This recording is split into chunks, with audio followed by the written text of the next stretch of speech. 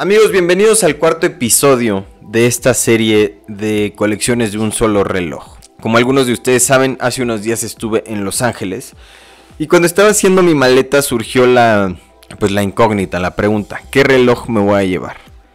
Y justo había llegado este Tudor Professional a mi colección y dije, eh, se ve como un reloj interesante para llevarnos de viaje y pues probar sus funciones. Este es un reloj GMT, entonces pues podía poner dos horarios. Pero antes de empezar, quiero recordarles que normalmente cuando hablamos de estos videos vamos a hablar de tres factores, versatilidad, diseño y función.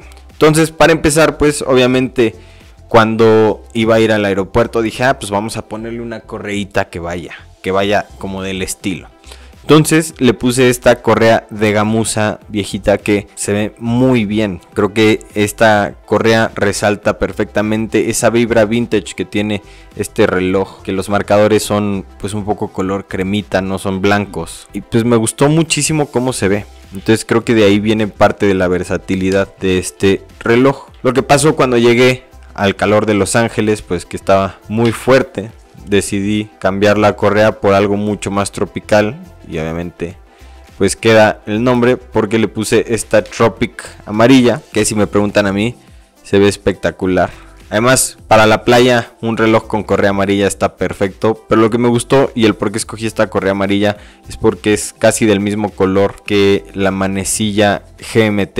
Entonces Créanme, entré a varias tiendas de relojes y muchísimas de los encargados, de los vendedores me preguntaban que de dónde era la correa y me preguntaban por mi reloj. Entonces, pues eso es una manera también de crear una conexión, una amistad con los vendedores de relojes, eso ayuda, créanme. Y pues es un reloj bastante versátil, aunque obviamente este fue un viaje donde iba pues a hacer cosas más casuales, no iba a hacer cosas más elegantes. Creo que esta correa de Tropic amarilla también funcionó perfectamente, sobre todo por la combinación que, que se logró con la manecilla GMT. Para no estar todos los días con el amarillo brillante, también me llevé una Tropic negra que a mi gusto se veía bastante bien. Obviamente vuelve el reloj un reloj un poco más serio. La amarilla es una correa mucho más divertida, pero vean, se ve perfecto con, con la, carátula negra y le da un, toque mucho más clásico.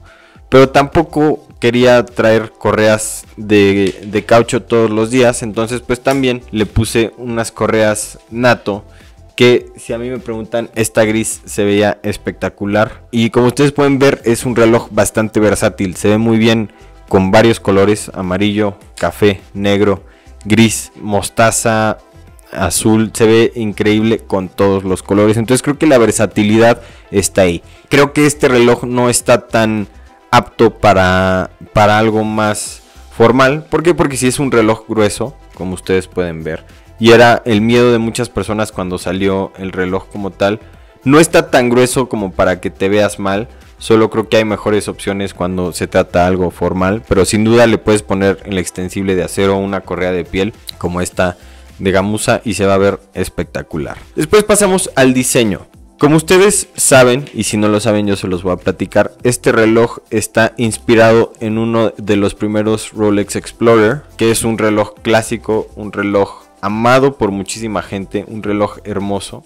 Y obviamente tiene sus, sus mejoras, tiene sus, sus cambios, pero es una inspiración en ese reloj. Tiene una herencia clásica y lo he dicho varias veces, es que me encantan los relojes con look vintage, pero con tecnología actual. Los marcadores se me hacen una belleza porque tienen un color como crema, muy muy bonitos. Pero además los marcadores de Lumen, Tudor desarrolló una nueva tecnología donde mezclan lumen con cerámica. Entonces ya no necesitas tener más cosas más que lumen. Es como una bolita de lumen que brilla muy bonito en la oscuridad. Es, un, es una preciosidad. Y eso me gustó muchísimo. Creo que el negro de la carátula, que no es un negro muy profundo, es un negro avejentado, hace que se vea espectacular. Y creo que todo en este reloj se ve muy muy bien, muy bonito. La manecilla GMT pues ni qué decir, es una cosa espectacular, ese amarillo está hermoso. Ya hablamos de eh, la versatilidad del diseño, ahora vamos a hablar de la funcionalidad. Para empezar, obviamente tenemos la ventana de la fecha, que eso a mí me funciona mucho, lo digo siempre. Pero lo segundo es que cuando aterrizamos en. Bueno, cuando aterricé en Los Ángeles, digamos que era las 10 de la mañana de aquí. Entonces, lo único que hice fue ajustar la manecilla GMT a las 10 de la mañana. Y en Los Ángeles son dos horas menos. Entonces lo único que hago es saco la corona a la primera posición y lo muevo a las 8 de la mañana. Y listo. Muy fácil de ajustar. Pues la verdad es que funcionalmente hablando me gustó muchísimo esa sensación de que puedo tener el horario del lugar donde estaba, pero también el horario de mi casa para estar, pues a ver qué hora es. Y me di cuenta que sí utilicé esa función muchísimo. No sé por qué, pero me daba curiosidad ver qué hora era en Los Ángeles, qué hora era en México. Y creo que este reloj, pues me gustó bastante.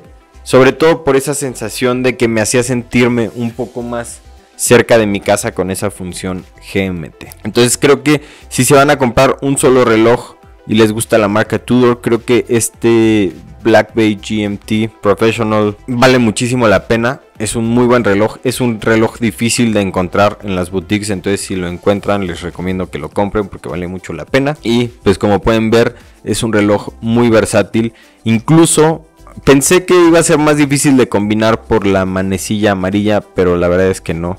Es un detalle muy bonito que se puede combinar muy bien con correas brillantes. Amigos, pues ese fue este capítulo de colecciones de un solo reloj. Eso fue todo por el día de hoy. Me dio gusto saludarlos. Nos vemos la próxima.